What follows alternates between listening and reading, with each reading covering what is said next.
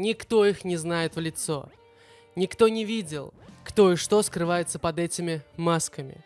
Но одно известно точно. Их музыка, динамичная и спокойная одновременно, радует уши и сердца тысячи тысяч людей. Название группы с английского переводится как «призрак», «привидение». И хотя «ghost» — английское слово, сама группа родом из Швеции и начала свой путь в 2008 году. Стиль группы так сразу назвать непросто. Основными называют heavy metal, doom metal и stoner rock. Мы пришли с этим салатом из жанров, в котором объединили любимые стили юности, объясняет звучание группы Ghost – анонимный участник. Мы росли, слушая разную музыку, включая шведские команды и группы 60-х, 70-х. Различные вещи вроде Kansas, Yes, Chicago, Boston, Journey, Toto, а также профессиональную музыку. С таким багажом мы решили, что можно написать тяжелый металл-риф, а затем бросить его на поп-мелодию. Это был первый порыв. Уже потом нас осенило. Мы сотворим жуткую рок-группу с наивным очарованием фильмов ужасов как Элис Купер, как Kiss. Однако, в отличие от плотских гневных и подростковых гимнов Элиса Купера и Kiss, Ghost обратились к театральному рок-н-роллу. Своим оппонентом они выбрали демонов внешних, в том числе религию. Мы вмешались в отношения между человечеством и Богом, подтверждает Гуль. Эта мысль проходит через все три альбома и будет на четвертом. По словам одного из участников группы, Идея коллектива появилась, когда он, будучи в другом музыкальном коллективе, сочинил риф, ставший впоследствии песней Ghost Stand By Him.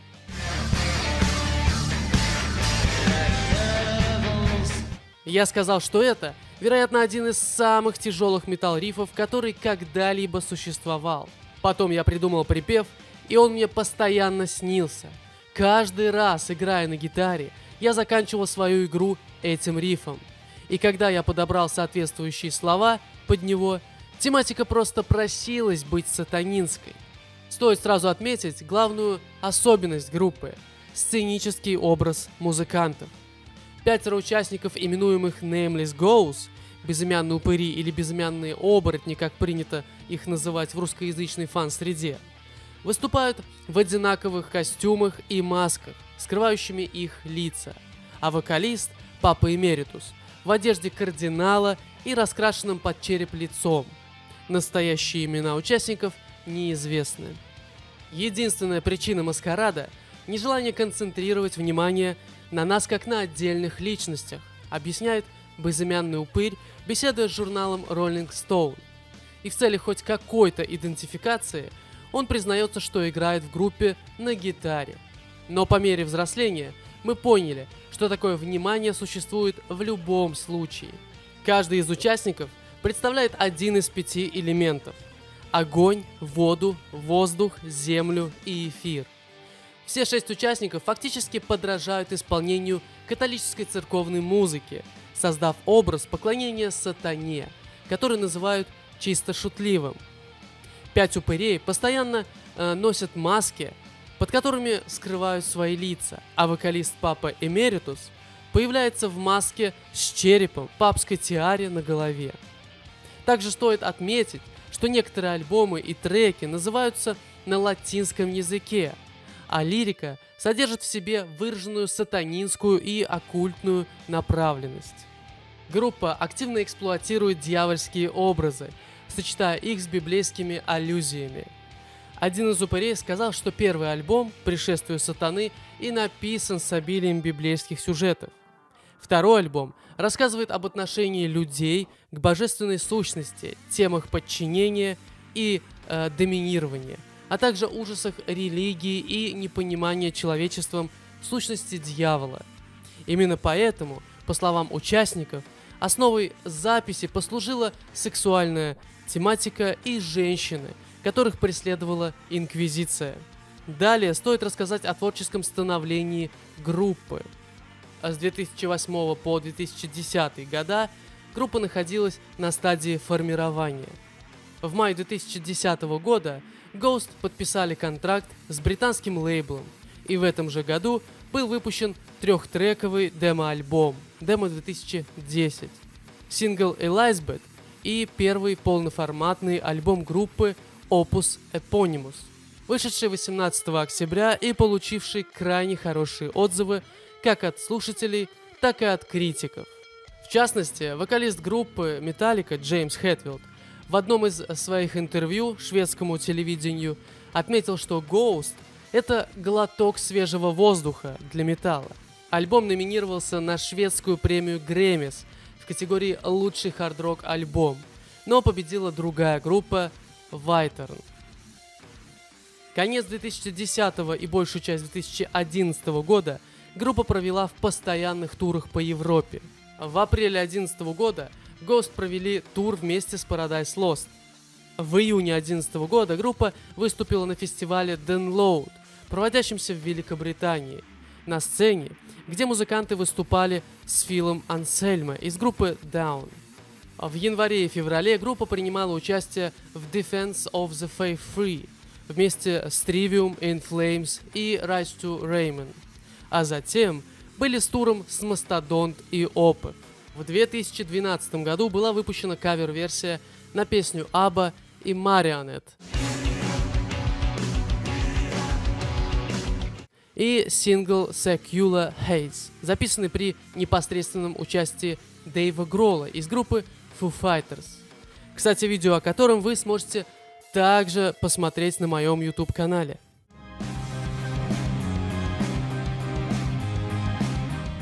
В феврале 2013 года на официальном сайте группы была указана точная дата релиза – 9 апреля.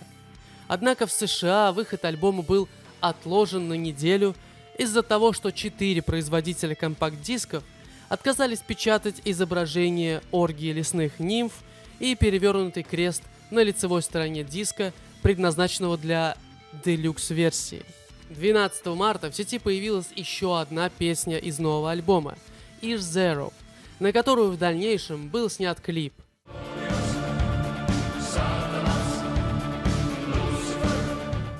А 8 апреля, в преддвериях э, выхода альбома, была опубликована песня Monsters Clock. 9 апреля альбом вышел в продажу. В японском издании в трек-лист добавили э, очередной кавер Waiting for the Night группы Depeche Mode.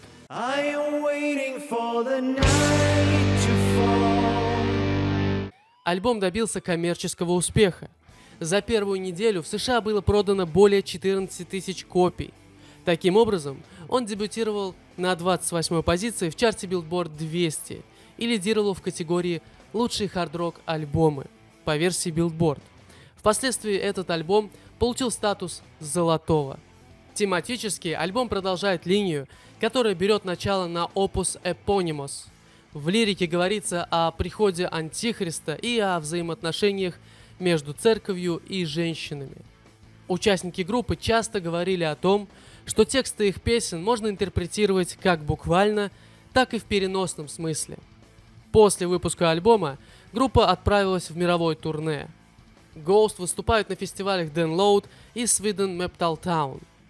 Затем группа начинает тур по Северной и Южной Америке вместе с Slayer, Iron Maiden и Deftones. Затем, после туров 20 ноября 2013 года, группа выпускает мини-альбом If You Have Ghost с несколькими каверами, записанными при участии Дэйва Грола. Следующим альбомом в карьере группы стал Миллиора – его название в переводе с латыни означает переход к чему-то лучшему.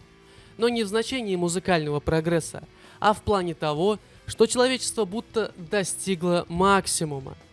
Группа неоднократно говорила, что поддерживает развитие технологий, тогда как э, приверженность к церкви считает пережитком. Вышел альбом 21 августа 2015 года.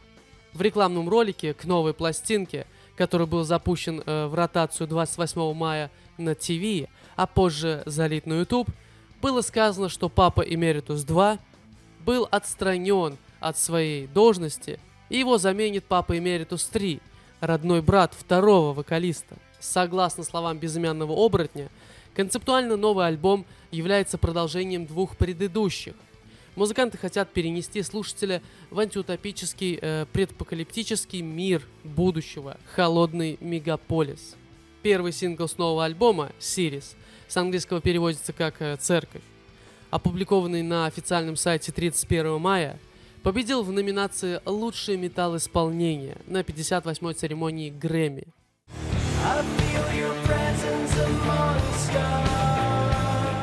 Папа Эмеритус 3 был представлен публике 3 июня 2015 года на концерте в Линчопинге.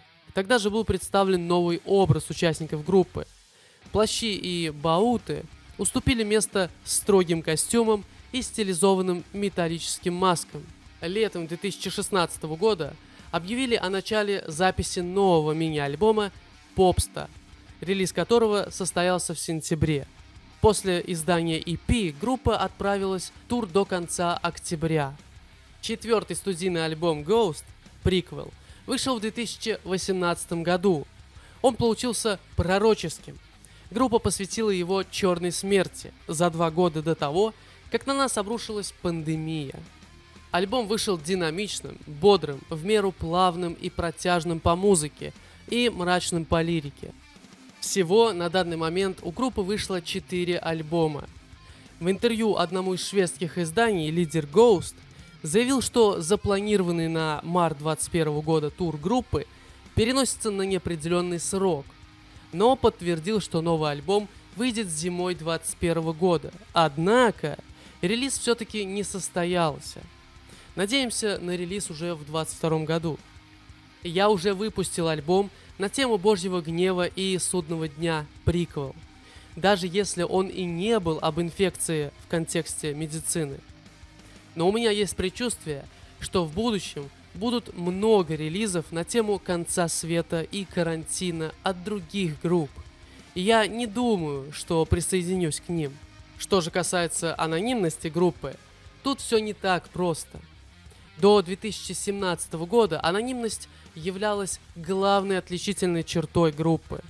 Никто из участников группы не называл своего настоящего имени, ни вокалисты, ни музыканты.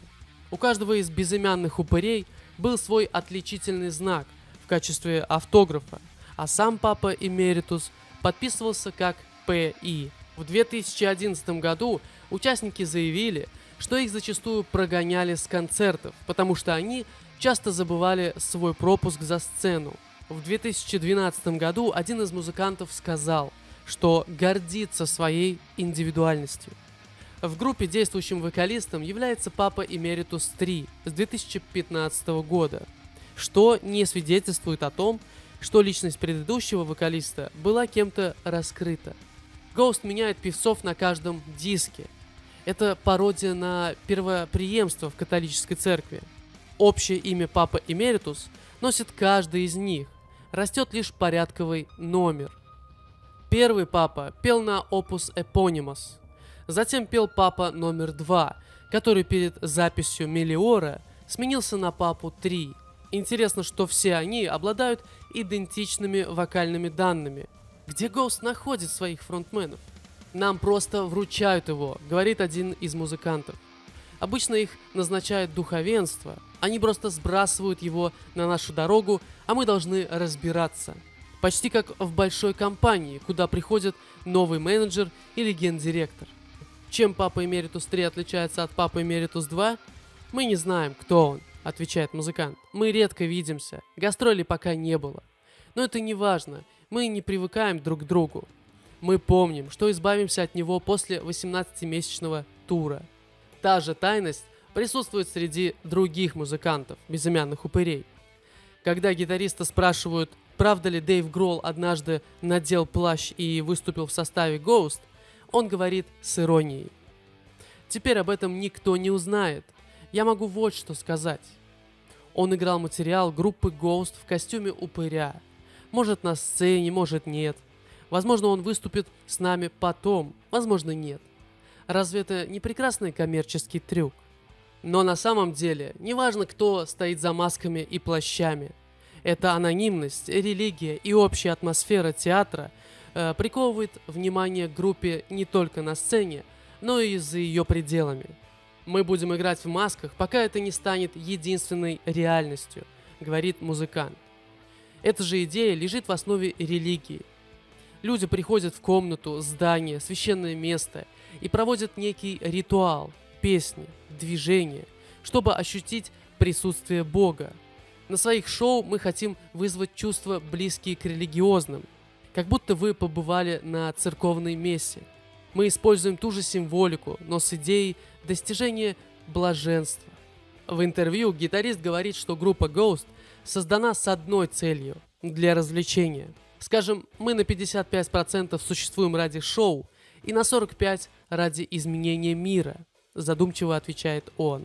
Я уверен, что есть лучший способ изменить мир, чем выступать на сцене.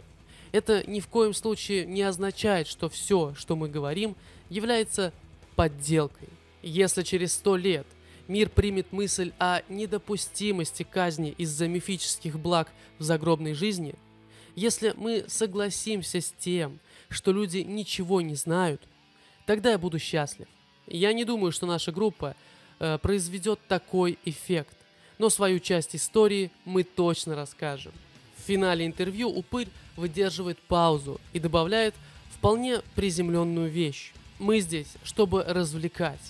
Если людям весело, я вполне счастлив. Нельзя получить все и сразу. Но все-таки личность вокалиста и предыдущих участников группы известны. На протяжении всего пути вокалистом является Тобиас Форги. Личность вокалиста была раскрыта для широких масс только в апреле 2017 года, когда несколько уволенных в 2016 году музыкантов Ghost подали на Тобиаса в суд, претендуя на увеличение выплат за концерты в связи с растущей популярностью группы и создании партнерских отношений по владению брендов. В ответ Тобиас заявил, что концертная деятельность группы не окупается и спонсируется Тобиасом из его авторских отчислений с продажи треков и атрибутики, к созданию которых уволенные музыканты не имеют отношения, а размер выплат был установлен контрактом. Судебные разбирательства еще не закончены. Вот такая история одного из самых скрытых рок-коллективов. Напишите в комментариях, что вы думаете о группе. Но не спешите уходить, ведь на моем канале вы найдете еще немало видео по другим популярным группам и музыкантам. Также, чтобы не пропустить следующее видео, необходимо подписаться на канал и ударить в колокольчик. Еще я жду вас на своих музыкальных стримах на Твиче, где я играю множество групп, в том числе и Ghost. Всем до следующего видео, всем пока.